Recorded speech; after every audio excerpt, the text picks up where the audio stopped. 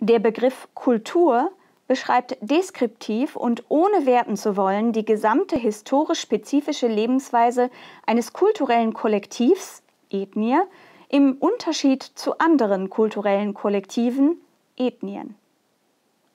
Die Zugehörigkeit zu einer ethnisch bestimmten Kultur wird durch die Abstammung gewährleistet. Auf einem anderen Wege ist eine Aufnahme in diese Kultur nicht möglich. Sämtliche Lebenspraxen dieses Kollektivs können sinnvoll aufeinander bezogen werden. Umgekehrt verweist jedes einzelne Element, zum Beispiel soziale, künstlerische oder ökonomische Handlungen, auf einen geregelten Gesamtzusammenhang. Die Mitglieder einer Kultur werden von ihr determiniert.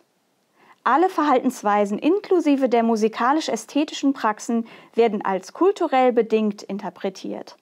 Dabei überlagert das kollektive Bewusstsein die individuelle Identitätsentwicklung.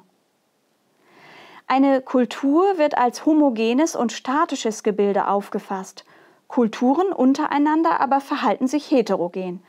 Daher überlagern die Differenzen, die zwischen den Kulturen bestehen können, die Unterschiede zwischen den Mitgliedern ein und derselben Kultur. Kulturen werden nicht differenzierend, sondern vereinheitlichend beschrieben. Die Beobachtung beschränkt sich entweder auf scheinbar Typisches oder auf Besonderheiten, die im Anschluss verallgemeinert werden